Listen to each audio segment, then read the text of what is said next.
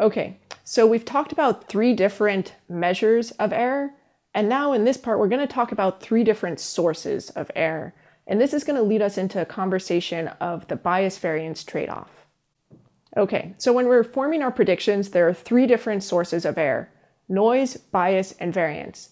And in this part, we're going to walk through these three different components at a very high level, at a more intuitive level. And then following this, there are going to be um, two optional sections that go into much more formalism and detail about this. Um, but those are optional because we're not requiring that you know this to get through the course. Um, but for those that are interested, we will be providing the formalism behind these notions that I'm presenting now. Let's look at this first term, this noise term. And as we've mentioned many times in this specialization, data are inherently noisy. So the way the world works is that there's some true relationship between square feet and the value of a house, more generically between x and y, and we're representing that arbitrary relationship defined by the world by f sub w true. It's just notation we're using for that functional relationship.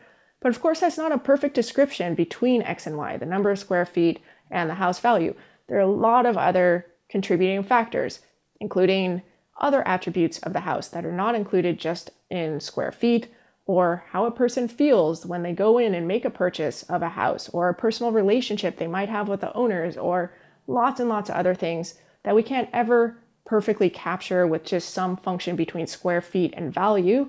And so that is the noise that's inherent in this process, represented by um, this epsilon term. So in particular, for any observation yi, it's the sum of this um, relationship between square feet and the value, plus this noise term, epsilon i, specific to that ith house. And we've talked before about um, our assumption that this noise has zero mean, um, because if it didn't, that could be shoved into the f function instead. Um, but what we haven't talked about is the spread of that noise.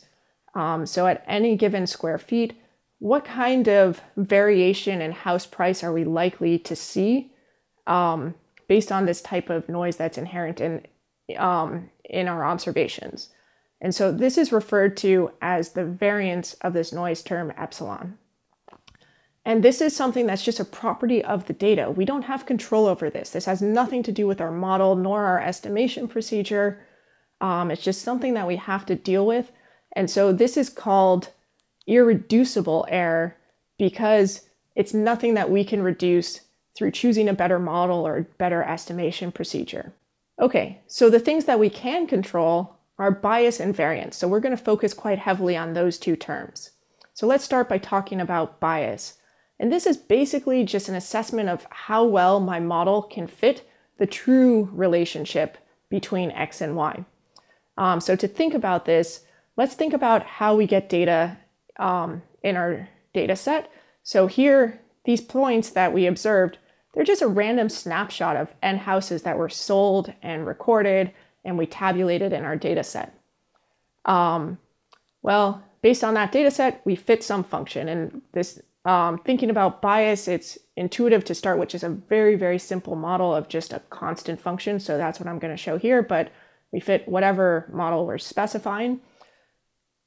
But what if another set of n houses had been sold? Then we would have had a different data set that we're using. And when we went to fit our model, we would have gotten a different line. Okay, and to make this point pretty explicit, I want to go back and look a little bit at these points that I drew here. In the first data set, I tended to draw points that were below the true relationship. So they happen to have um, our houses in our data set happen to have values less than what the, the world kind of specifies as typical. And on the right hand side, I drew points that tended to lie above the line. So these are pretty extremely different data sets, but what you see is that the fits are pretty similar. So this is going to come up later, and I wanted to point this out now. Okay, but let's get back to this notion of bias. Um, so what we're saying is over all possible data sets of size n that we might have been presented with of house sales, what do we expect our fit to look like? So for one data set of size n, we get this fit, Here's another data set. Here's another data set. or the fits associated with those data sets. And of course, there's a continuum of possible fits we might have gotten. Um, and for all those possible fits, here this dashed green line represents our average fit, averaged over all those fits weighted by how likely they were to have appeared. Okay, so now we can start talking about bias. What bias is, is it's the difference between this average fit and the true function, f true. Okay, so that's what this equation shows here.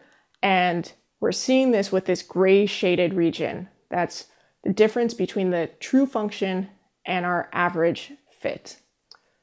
And so intuitively, what bias is saying is, is our model flexible enough to, on average, be able to capture the true relationship between square feet and house value? And what we see is that for this very simple constant model, this low complexity model has high bias. It's not flexible enough to have a good approximation to the true relationship. And because of these differences, because of this bias, this leads to errors in our prediction.